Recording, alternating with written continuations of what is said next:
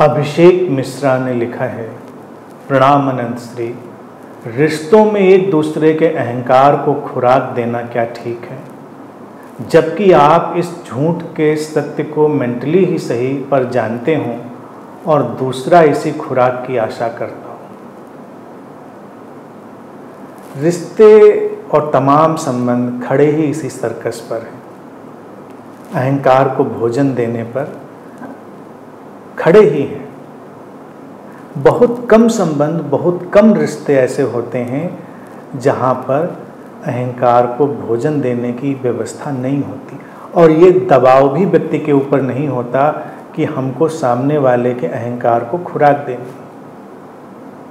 कम संबंध होते हैं। बहुत फॉर्चुनेट सौभाग्यशाली लोग हैं जिनको ऐसे संबंध उपलब्ध होते हैं। अन्यथा तो वो चलना ही है। जैसे तुम अपना डॉगी पालते हो, अब तुमको उसको सहलाना ही है, उसकी गर्दन, उसकी पीठ सहलानी है बार आके खड़ा हो जाएगा। कोई लेना देना नहीं इस बात से। क्या मिल रहा है उसको? हम बस अच्छा लग रहा है उसको। तो जैसे ये गर्दन सहलाना होता है, किसी डॉगी का, अपने पेट का, अब पेट तो कोई भी हो सकते हैं, आजकल तो लोग कुछ भी पालते हैं, घोड़ा, गधा, बिल्ली, कुत्ता गधा तो नहीं पालते, पालना चाहिए, वो उसने भी क्या बिगाड़ा है? उसको भी पालना चाहिए नहीं पालते हैं, फिर ज़्यादातर लोग। संबंध ऐसे ही पूरा एक सर्कस या जू कह लें, उसमें कन्वर्ट हो जाते हैं। बहुत सारे संबंध। इसीलिए कई बार लोगों को लगता है कि ये शहर में एक जू होता है। हर घर में अपना, अपने किस्म का एक जू होता है। अजायब घर। अलग अलग मांगे हैं विचित्र विचित्र विचित्र विचित्र इच्छाएँ हैं और इच्छाएँ अभिषेक निश्चित ही अहंकार की हैं। अहंकार की हैं अर्थात अज्ञान की हैं। अज्ञान और अहंकार एक ही सिक्के के दो पहलू। दोनों साथ साथ रहते हैं साथ साथ जाते हैं। अब व्यक्ति को लगता है कि इस भोजन से उसका कुछ बनने वाला है। लेकिन कभी उसने ये एनालाइज नहीं किया होता है कि इस खुराक से हमारा कुछ सचमुच में बनने वाला है। दिन में तुम किसी को दस बार आई लव यू बोलोगे, इससे कुछ बनेगा उसका? या प्रेम की कोई नदी बहने लग जाएगी ज़्यादा गहरी जीवन में? कई बार तो बस शब्द हो जाते हैं, इधर से गूंजते हैं, उधर चले जाते हैं। लेकिन सुनने की आदत पड़ी है। तो कई बार व्यक्ति को लगता है, आज बोला नहीं इसने।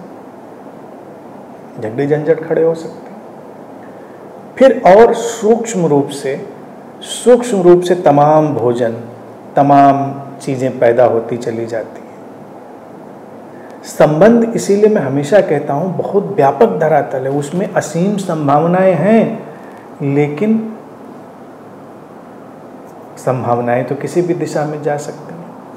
अब तुमने पूछा है कि अगर इस बात को जानते हैं हम, अच्छे से कि ये दूसरा आशा कर रहा है और उसको खुराक देनी है तो हम करें क्या वस्तुतः? यहाँ पर आती है प्रैक्टिकल हमारी अप्रोच सामने वाला अगर अच्छा है, बेहतर व्यक्ति है, संवेदनशील है, लेकिन अभी वो उलझा है अपने किसी अज्ञान की परतों में। तुम्हारा भी उसके प्रति प्रेम भाव है, संवेदना है, कल्याण की कामना है। लेकिन तुम साफ़ साफ़ देख पाते हो कि आकांक्षा तो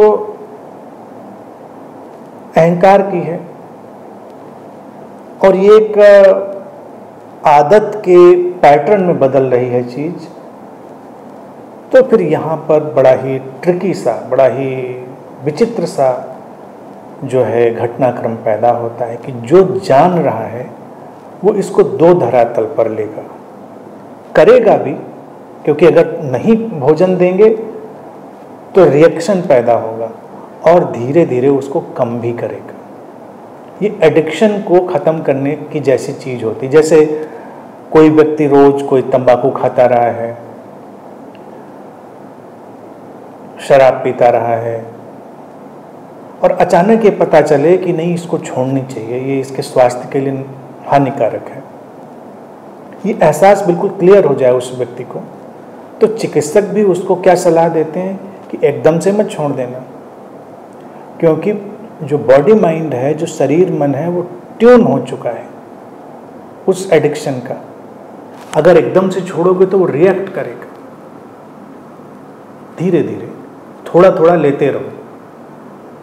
बीमारी में भी कई बार क्या होता है, लोग बीमार पड़ते हैं और एक बड़ी हैरान करने वाली चीज़ सामने आई। इस पर कई चिकित्सकों ने रिसर्च भी करी। तो लोग अचानक डर के मारे सब छोड़ देते हैं। अगर वो पीते थे तो बिल्कुल छोड़ देते हैं, तंबाकू खाते थे तो बिल्कुल छोड़ देते हैं। लोग कहते भी हैं।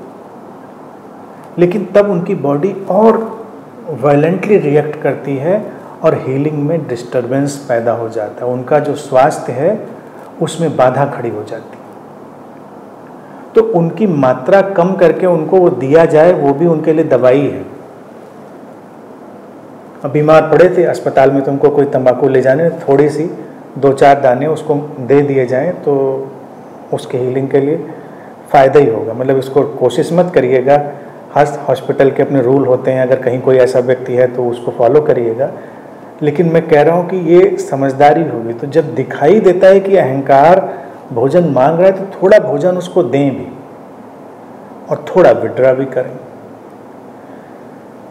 अपनी जागृति को बढ़ाएँ और दूसरे को जागृत होने में सहयोग दें। तो अगर सारी परिस्थितियाँ बेहतर हुई, वो व्यक्ति सौभाग्यशाली हुआ और करने वाला सौभाग्यशाली हुआ तो संभव है कि उसके अहंकार की जो मांग है भोजन की वो बंद हो जाए। लेकिन इसमें बहुत ज़्यादा कुछ कर नहीं सकते। मूल बात यह है कि यहाँ प्रत्येक व्यक्ति अपनी शांति और प्रसन्नता पर ही काम कर सकता है। तो इस बात को समझ लेना व्यक्तिगत रूप से उचित है। दूसरे के साथ बस केवल सहयोग किया जा सकता है। लेकिन अगर वो खेल चलता ही है और खेल में बहुत परेशानी नहीं है तो फिर खेल चलाया जा सकता है। फिर वहाँ पर तुम्हारे डॉगी और पेट का ही एग्ज़ाम्पल आएगा। उसकी अपनी सीमा है, लेकिन वो अच्छा भी है, उसकी अपनी तमाम अच्छाइयाँ भी हैं, लेकिन उसकी तमाम सीमाएँ भी हैं। तो तुम जारी रखते हो, उसको टहलाना, उसके साथ खेलना, उसको सहलाना जारी रखते हो, क्योंकि और करोगे भी क्या? अब बैठ के किसी दिन अपने डॉगी को प्रवचन तो नहीं देने लग जाओगे? क्या रखा है रोज़ सुबह सुबह इस तरह से भौंकने में? ये गर्दन सहलवाने से क्या मिलता है तुमको? वो तो तुमको फटी फटी आँखों से देखेगा। ज़्यादा समझाओगे तो और ज़्यादा भौंकेगा। कुछ कर तो पाएगा नहीं। क्योंकि अभी उसका वो फ्रेम ऑफ़ अंडरस्टैंडिंग पैदा ही नहीं हुआ है। तो अगर कोई इतने एनिमलिस्टिक पार्श्विक धरातल पर उलझ के रह जाए, लेकिन वो उतना प्यारा भी हो जैसे तुम्हारा पेट प्यारा होता है। चल रहे दो खेल की तरह उसको उसको बहुत ज़्यादा उसमें लड़ने उलझने की ज़रूरत नहीं। है खेल ऐसा? खेलो उसको। लेकिन मनुष्य होने के नाते हम ये मानते हैं कि थोड़ी पॉसिबिलिटी तो होती है कि व्यक्ति को जागृत किया जा सकता है। तो उसमें भी हार मत मानो। थोड़ी थोड़ी जागृति की कोशिश भी करते रहो। यही किया जा सकता है और कुछ किया जा नहीं सकता।